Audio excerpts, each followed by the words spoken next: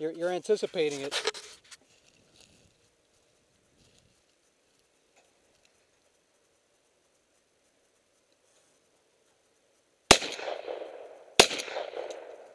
That time you didn't.